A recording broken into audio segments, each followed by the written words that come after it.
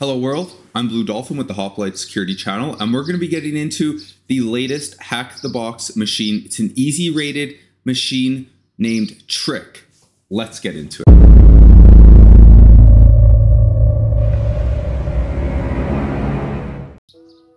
Jumping right into things here. At a high level, we're going to be covering four things today. Firstly, I'm going to do a quick disclaimer. Secondly, we're just going to talk about the box, look at the statistics, the overview page as it displays on the Hack the Box website. Then, thirdly, I'm going to be speculating and telling you what I think the machine is about based off those statistics and based off the name. And then lastly, we're just going to be talking about what has been covered on the forums. So firstly, as a disclaimer, I haven't turned the machine on, haven't nmapped it, I haven't done absolutely anything at all. All right. Secondly, let's look at where the statistics are post release we can see that the machine has a 4.2 rating, which is pretty good. I like to see this. We can see that user owns are at 279 and system owns are at 237. So this is probably not the easiest of easy machines, if that's how many owns we have at this point. The machine creator was Gelseric, so everyone click on this little give respect icon here, give him the respect that he needs and deserves. It really goes a long way for these people who do create these boxes. They gotta grind hard hours to make this happen. So you can give back and make them feel appreciated by just clicking the give respect button. Next, all right, let's look. User blood was accomplished at 31 minutes by 0x Cow. Congratulations. System Blood by Jazz Pizzazz. 56 minutes. Sounds hard. All right, let's look at the uh, statistics here. We can see here initially that users have emphasized the CTF part of the matrix, which kind of makes sense if the name is Trick. So this means the box has something that's going to be very CTF like or require that CTF mindset as opposed to just a, a, a straight or raw CV. The community has also given it a 6.5 for enumeration, so that probably means that we want to enumerate all ports and make sure we really enumerate any services or websites that we have. And then thirdly, it looks like there's a CVE with a 5.3. And it sounds like that sounds tricky. So I, I, which I guess is in the name, but I think what's going to happen is either for user or system, it's going to be a CTF like pivot, and then for you know the other, it's going to be along the lines of a CVE.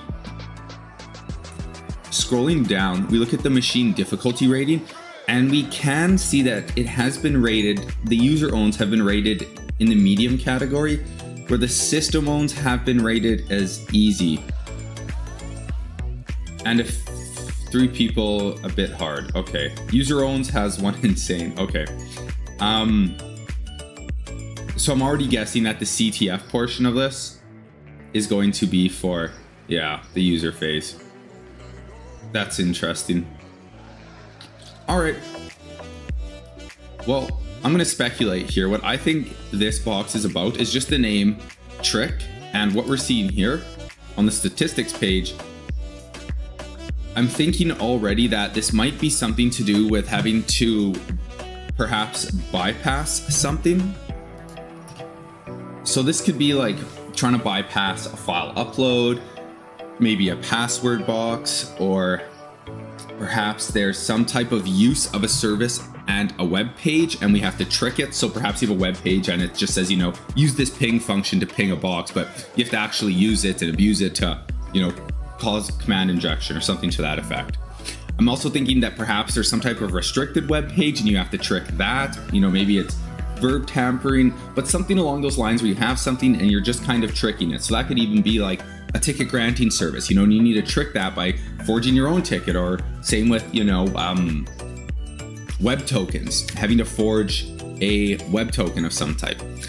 As well